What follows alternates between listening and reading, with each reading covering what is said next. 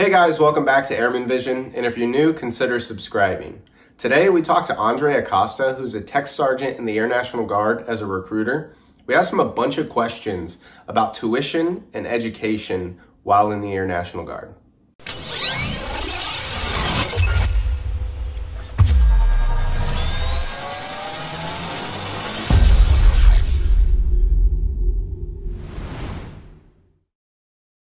Today we have Tech Sergeant Acosta. He's in the Air National Guard, and we're going to be answering some questions about college tuition, going to college while you're in the Air National Guard. But first, I want to just have you introduce yourself, what you do for the Air National Guard, and how people can contact you, and then a brief overview of your time in the Air Force. Yeah, thanks. So I'm Andre Acosta. I'm a recruiter for the California Air Guard. And I've been in the Air Force 18 years now started 13 years in active duty side and then five years in the Air National Guard, also known as the Air Guard. I, have been able to have a, a, wealth of experience. You know, started off at uh, Beale Air Force Base in California, then moved, transferred, or PCS permanent change of station to Osan Air Force Base, Korea, then Virginia at Langley Air Force Base, onto Hickam Air Force Base in Hawaii, where I went and joined the Hawaii Air National Guard and then the Wyoming Air National Guard, and then now finally the California Air National Guard, which is home for me. You know, I'm born and raised in California, and it, it's great to be able to serve my local state. You know, I'm I literally stationed 40 minutes from where I grew up, and and this will be my last assignment. So it's really just about giving back, helping the next generation of enlistees as as they make the decision of what branch to join and how to make the best moves for for their future and their career. If, if anybody has any questions, you know, or, or, would like more information about the California Air Guard, just feel free to send me a text or call me directly on my work cell. It's 805 415 7269. Again, that's 805 415 7269. All right. So, like we said, we're going to be answering some questions, or I'm going to be asking, and you're going to be answering about college, tuition, all that stuff, right? Because education benefits are a huge reason that a lot of people join the military. So it was no surprise when we asked for questions about the Air National Guard that we got several that had to do with college and tuition and just the education aspect of things. So the biggest question was can you go to college when you're in the Air National Guard? Absolutely. So when, when you think about the different Air Force options like active duty Air Force, reserve, or guard, I would say in my my opinion, and I know I'm a little bit biased, but like the the Air Guard is the best Air Force option to go to college with, and, and I'll tell you why. You know, simply it's because we're part time, so that means you have time to be a full time college student, right? Because you need time to go to college, right?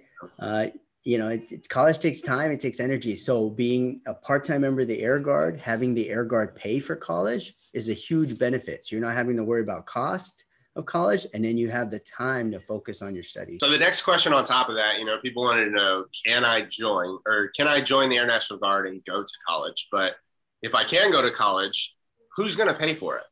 Am I going to pay for it? Are they going to pay for it? Are they going to pay for half? Am, am I going to have to take out student loans? How is, is that process going to work? So, how much or do they pay at all for you to go to college? Yeah, so it's actually fairly generous, and and each state, because you know the Air National Guards are state specific, each state is going to have different educational benefits. So I, I can only talk about California, but there's going to be similarities and applicabilities between the states. Now, to get the college benefit, you do have to be a fully trained air guardsman. So that does mean you have to graduate basic training and tech school. And then when you get back from tech school, you'll have access to that funding. Now, I'll, I'll list some of the funding examples that we get as air guardsmen. So you do get access to the Montgomery GI Bill, right? Okay. So that is currently 350 i want to excuse me 350 a month as a full-time student that's going and taking at least four classes a semester right? And then you do get access, like our base in particular gets access to Air Force tuition assistance, which is the same that active duty and the reserve gets. That's 3,700 a year. And then also as a California Air Guardsman or California National Guardsman, you have access to the California National Guard Education Assistance award program, which is a really long title, and acronym. But essentially, depending on the type of school you go to, they'll pick up the tab for tuition. It's much like the Cal Grant, which is uh, California grant. So you apply for it every year. But if you were to give some math and some examples, right? If you go to Cal State University Northridge, right, which is about 5,000 a year, they'll pick up the full tab for your tuition. So it's a full ride there. Uh, if you go to UCLA, which is a fairly popular, if you're a Bruin fan, right, that's they'll pay up to 12,000 a year for that.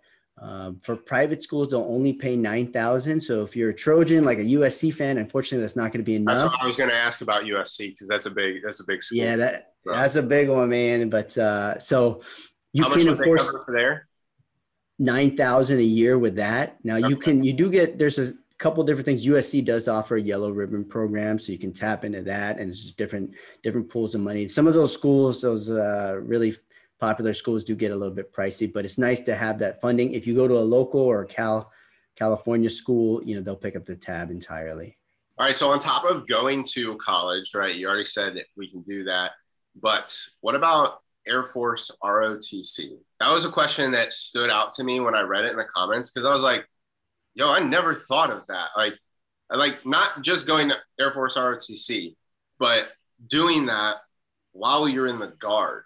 Is that something you're able to do? I'm assuming they would like they would almost like that because the point of uh, like Air Force ROTC is to commission, and so like that would help the guard if if somebody gets that finishes that program and then commissions. Yeah, so it's yeah, you can absolutely do both. it, it is kind of a lot for for somebody to do both, right? Because you're wearing almost like two military hats simultaneously, so to speak. Yeah. But the nice thing with the guard is you're getting actual experience while you're in the guard, right? And we're yeah. going to pick up the tab for college once you graduate from tech school. So it's immediate. Like we're talking about freshman year. The thing with the ROTC scholarships, right? a lot of times they're not getting those scholarships till sophomore or even junior year. So they're still going to be responsible for you know your your freshman year for payment of that freshman year. So yes, you can absolutely do both, and there's advantages to doing both. Uh, the big one is you know getting college paid for in its entirety, and then once you do graduate from college, the ROTC will line you up straight for that commission, and the Air Guard will let you go. They're not going to hold you back. Uh, the, you just set up a, basically a release form to our commander in the in the air guard side and they're going to love that. They're going to encourage you and want you to commission. So it's yeah, I was say prior prior service officers are very sought after commodities for the military because they actually have an understanding of the military exactly so rather than you know oh, well i've been in college and you're like yeah but that doesn't translate perfectly to like being in charge of a bunch of military members if you've never been in the military. Yeah, that's exactly it. Having that experience is it's going to be very helpful and relatable, right? Because the majority of your team is going to be enlisted, so it makes a that much better a leader. A big fear that a lot of people have with going to college in the guard would be what happens if I deploy? Right? If I'm if I'm in the middle of my classes and they're like, "Hey, we have a deployment coming up and you're like but my classes like how how does that work with somebody so so the air guard rarely deploys on an instant. You know you'll have notice. It's not like you know the, the plane is taking off. You need to hop on you know in an hour. It, you'll usually have more than enough time and, and notice to finish up that semester. Like i mentioned in, in one of our other videos there's usually a wait list for for deployment so you'll know when this deployment is coming.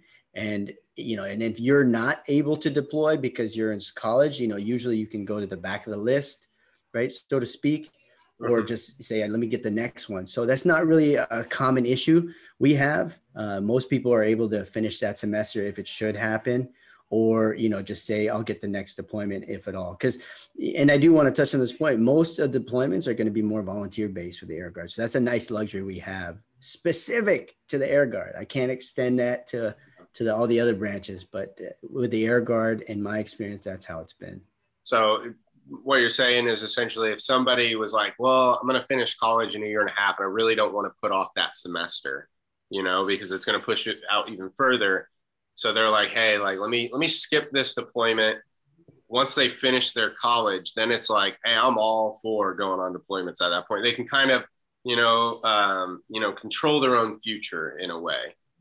Exactly, and, that's the the big thing with the guard is having that control and that flexibility to balance you know whatever your full-time ambition is whether that's full-time college student full-time profession you know you can do both.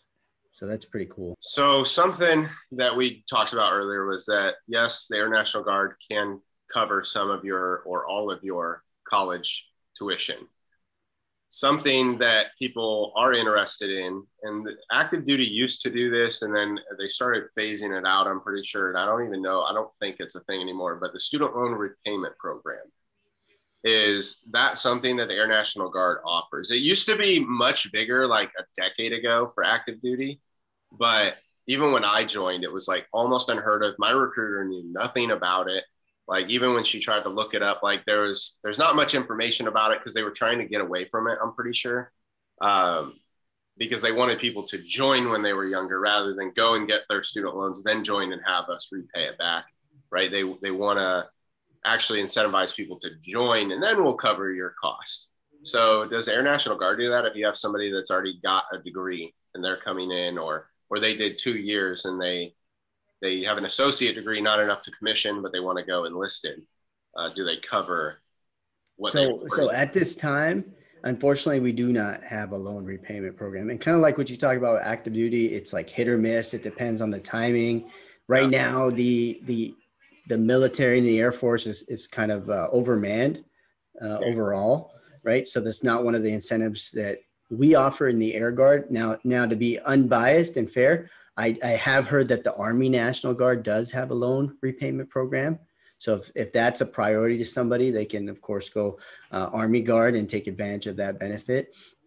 On the other side of the coin, you know, if, if paying back that that loan is is something that's on everybody's head because I'm sure it is, right? You want to get free of that debt. You know, we do offer bonuses, job bonuses. So right now, you know, it can be anywhere from fifteen thousand. Uh, you know, at, at the top end for that initial job bonus. So let's just say you went security forces right now, right? 2021, you could get that 15,000. It is broken into uh, installments. You're getting half at your three year mark and the other half at your five year mark of your six year enlistment. And you do have to pay taxes, right? So that's like a big, like, man, taxes kind of like a big chunk. But, but again, that, that'll come out to like almost 10K that you'll have to repay loans. And then something else to think about is while you're in basic training and tech school, you know, you have very few expenses, right? You know, you you're you're not paying for food. Maybe you're paying for a cell phone. Usually, your car insurance you're you're not having to pay for because it's sitting somewhere, right? So I always tell my enlistees, man, basic training in school is a great way to save another 10k very yeah. easily. You can save 10k, so that can you can just save all that money and then put that towards that debt. So there's some there's some uh, some solutions there if you just get creative. And another thing to think about too, like if you're trying to get into an Ivy or a pretty pretty popular school, you know, joining the Air Guard, you're on veteran status, and so that gives you some preferences out the gate, out the gate, so you can get into some better or, or popular schools a lot of times that would be harder to get into without that veteran status because as an Air Guard member, immediately you're you're considered a veteran, and then you have the time to go to school. So I'm talking about yeah. you don't have to do that whole four year contract on active duty. I'm talking about like within a semester of joining, you're already able to apply to you know some bigger name schools or transfer from your last school into. There's just so much flexibility there. So that that's really similar to applying for even jobs. Is we I went to school for criminal justice, so I wanted to become a cop and then I ended up dropping out after a year and a half and then joined the Air Force. But that was something I had applied it two police departments when I was still going through school because I was like, might as well, you know, at least if I'm not going to get the job, at least get the experience with interviews. So once I get my degree, I've already been through the process, so it's not as scary, right? I was trying to set myself up to be as successful as possible, and not be like, I've never gone through these interviews before, but I have a degree. You know, it's like, oh, I've been through the interviews, I got my degree, like I'm good. Like as soon as I graduated, I was like, I'm getting a job. So, but our instructors would always, or our professors would always joke about how um, a lot of people don't realize that if you're prior military, like especially in law enforcement, they're like you automatically go to the top of the stack. they're like, oh, you're you're you're a veteran or prior military. They're like, oh, yep, you already are more qualified than everyone else, and that's it. Like that's the only thing. It doesn't matter about college degrees. It didn't matter about this. It was like you're already like considered the top ten percent candidate if you have prior military, just because you've proven that you can follow orders, that you can listen, that you can pay attention to details, right? Like in order to be in the military, like you have to you have to fit all those things. And so uh, that was like a big thing is not only does that help with college, like you said, you become, you know, a veteran uh, or you have veteran status when you're applying for some schools that are prestigious, but even careers later on is that's a good point. Get your yeah, that's true. Door. You know, waking up early on a consistent basis, it sounds simple, but it's it's a it's a very good skill to have. and that's one of the things. I'm glad I don't have to abide by that skill anymore. I am I am not a morning person at all. I'm like the biggest night owl. So I'm like my my current job right now I have to get up early, but I have one week left and then going to be able to work from home. So I'm like, yes, I got to create my own schedule now. But yeah, it definitely is uh, being in the military. You know, it's like I can't really complain all that bad about my job right now because I definitely had to be at work way earlier, a lot more often in when I was in the military, and then especially like basic and tech school. Like that first, like when you first join, it's like five in the morning you wake up every day. And it's not like a subtle wake up at five in the morning. It's like a very loud, chaotic wake up. Like your blood is rushing right away. So yeah, it kind of like trips you into this mode where you're like trying to be punctual and on time. And yeah, so it definitely helps with uh, getting a job later on. Um, and I didn't know that about colleges either. I didn't know some colleges, but it makes sense because some college may offer like incentives to get veterans to go there because they, they want you to spend your GI Bill to go there, they want that tuition assistance that the military provides because that's to them, if they can convince a veteran to go there, then they get that money guaranteed. Yeah. And, and you know, one of the things too that now that we're segueing kind of into that, what, what I encourage people to, to do if when they join the Air Guard is like in, in, your circumstance, if you know what your major is, you can use the air guard to get job experience. So if, if for example, if it's your criminal justice major, you know, security forces is a popular uh, job, which is a law enforcement within the Air Force. So you can have that job experience to complement your major. So that I, I recommend too. That's that's a pretty cool way to do it. So like if somebody's interested in eventually becoming a nurse or going to med school, they could become a med tech with us or something within the medical field. Also, IT is a popular one. If you're going to major in computer science, right?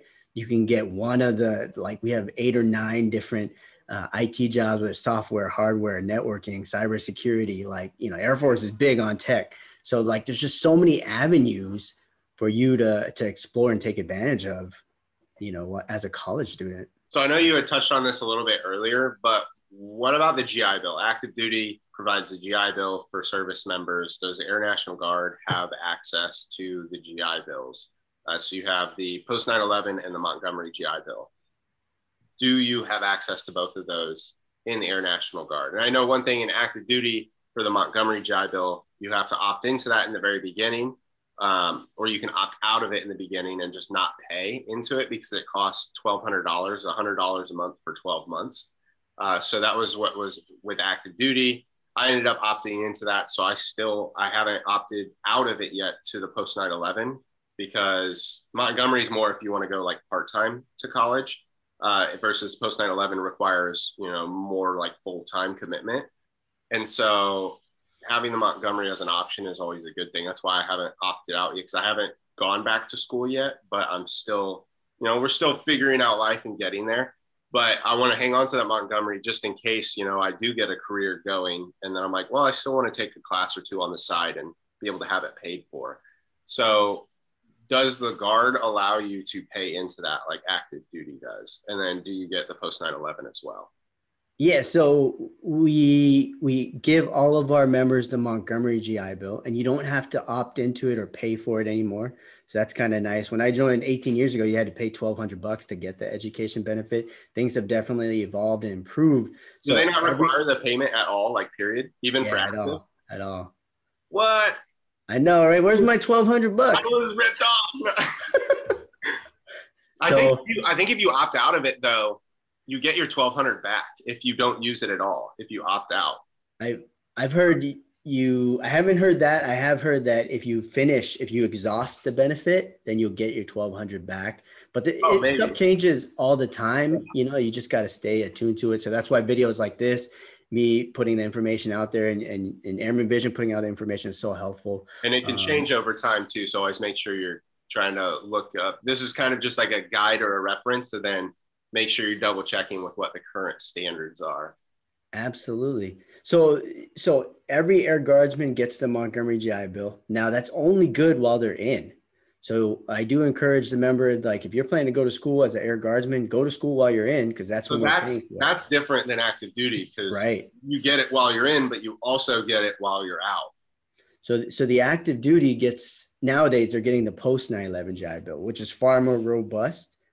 Uh, you do have to serve at least three years of active time to get the post 9/11 GI Bill on active duty. You can get the post 9/11 GI Bill on in the Air Guard, right? You just have to serve at least 90 days of, excuse me, not 90 days, three years of full time, right? And it and it does have to be uh, federal orders. So that's kind of like deployment orders. So it, it can be hard to get on the Air Guard side to get the post 9 11 GI Bill, you know, because you essentially have to do, you know, three years of deployments or, you know, average Air Force deployments is like six months. So that's like, you know, six deployments that you're doing, right? Which is kind of a lot for an Air Guardsman. Yeah. Uh, but you can get partial, like you, there, it's not unheard of for Air Guardsmen to do one or two deployments and do like, you know 30% of a post 9/11 GI Bill, things like that, and still use some of that benefit.